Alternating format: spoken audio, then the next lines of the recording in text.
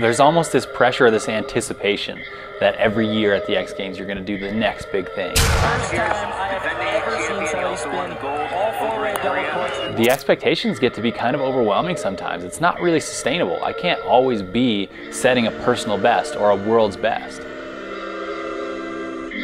I came into this season just with this fresh outlook where uh, every competition, even every practice day, instead of saying, what's the next best thing in skiing that I can do, I was more asking myself, what's the best thing I can do today?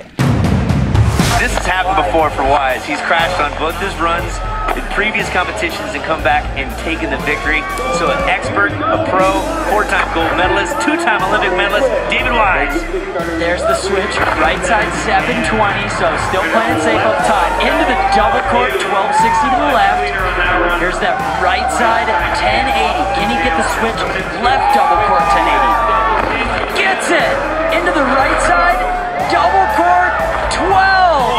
Smooth landing from David, finally putting a full run down. I don't know if that can top Alex. It's gonna be a good score.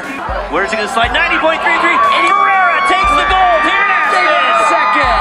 It's been kind of a pleasure this season to just go into each competition asking myself, what is my best today? How can I improve on yesterday?